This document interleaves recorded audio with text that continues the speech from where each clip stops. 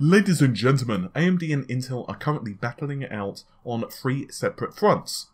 The first is low power devices, for example laptops and notebooks, those type of devices.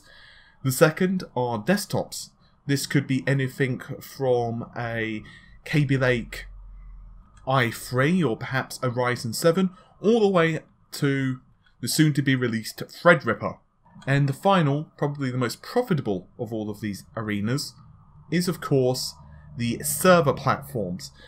These usage scenarios could be anything cloud computing, scientific research, but regardless, there is one usage scenario which remains consistent.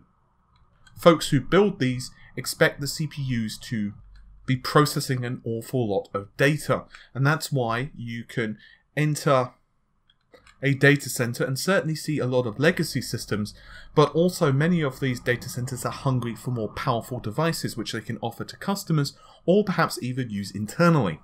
With all of that said, my name's Paul, and in this Red Gaming video, we're going to be discussing AMD's EPYC 7000 series, because specifications and performance have leaked ahead of the processor's official unveiling, or perhaps more accurately, before the NDA is lifted. A website by the name of videocardz.com have managed to get hold of some slides and performance data.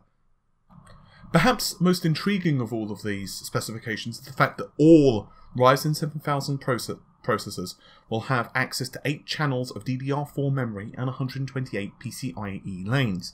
It's obvious if you were to take a look at AMD's previous conferences, for example their investor conference, that they imagine a future where data centers, in other words, companies which require an awful lot of computing power, not just invest in Epyc, but also in Vega as well multiple Vegas GPUs actually for the same rank. Therefore, in such instances, bandwidth is obviously rather important, and having a low number of PCIe lanes doesn't benefit them. So, I won't read through the entire list of SKUs because, quite frankly, I'll be here for too long. But there are Epyc one socket CPUs and also multiple sockets um, platforms as well. I'm going to read out a couple because I feel these perhaps illustrate the point rather well. Let's start out with the 7281, which is a 16 core 32 thread processor, runs at 2.1 GHz base, turbos up to 2.7, 155 watts TDP slash 170. Right, remember those figures. 7601 is a 32 core 64 thread CPU which has a base clock of 2.2, turbo clock of 3.2 with a TDP of 180. Now, what I find rather interesting is the fact that one has only one figure for TDP while the other has two. Originally, when I was reading this out from top to bottom, I actually thought, okay, well, um, you know, that makes an awful lot of sense. But then obviously I started to notice the second figure. Uh, the individual who managed to get these leaked slides says that he's not sure why they actually have two values for certain processors.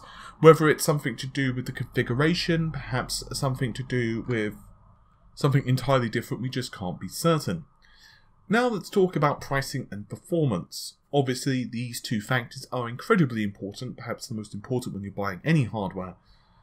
Now, obviously, once again, there are far too many SKUs here for me to read out.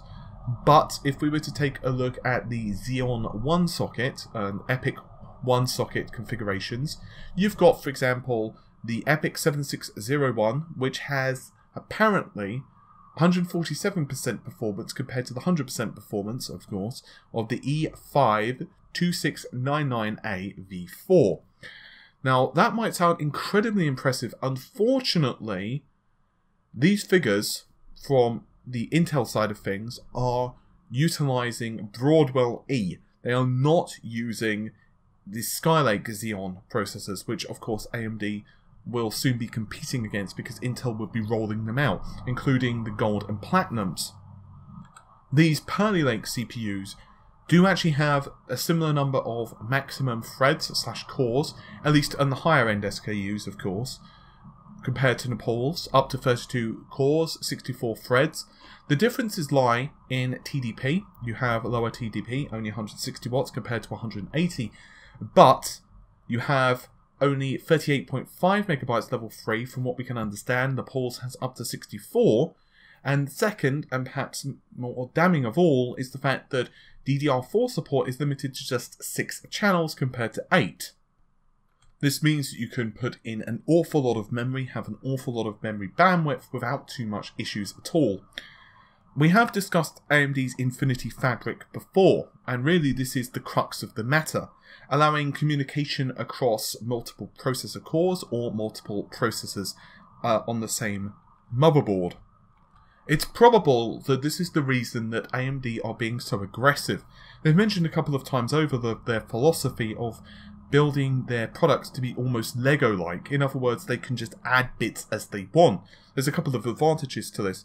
The first is that yields are better, and the other advantage is that you can tweak things as required. So, for example, if a client come to you and said, "Hey, I need this or this," well, then they can tweak that as required, and basically the turnaround is much faster.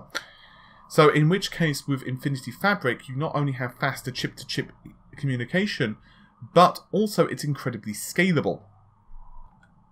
Just as a quick recap as well, currently we're on Epyc, which is using Ryzen, the original Zen architecture. It's built on 14nm.